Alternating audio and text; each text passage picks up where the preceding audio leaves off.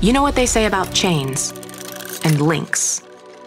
We say a cold chain is only strong if it's complete, if it goes right from your door to your patients and never lets quality waver, even for an instant.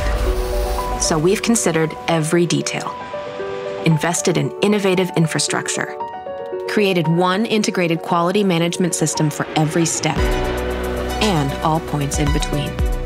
And we built the world's only complete cold chain. Complete with a scalable and customizable footprint for cold, frozen, and cryo storage. Complete with constant visibility of your product as it travels, and the ability to rush critical shipments to the front of the line. Complete with consistent temperatures and consistent quality in the world's most extreme climates. So you can completely change your patient's life. The complete cold chain.